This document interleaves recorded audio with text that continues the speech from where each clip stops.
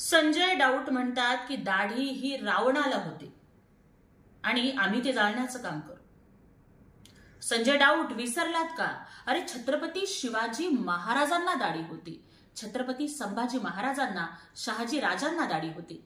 महात्मा फुल्यांना गुरु गोविंद सिंगांना गुरु नानकांना नाथपंथातल्या नऊ नाथांना सुद्धा दाढी होती. संजय डाऊट.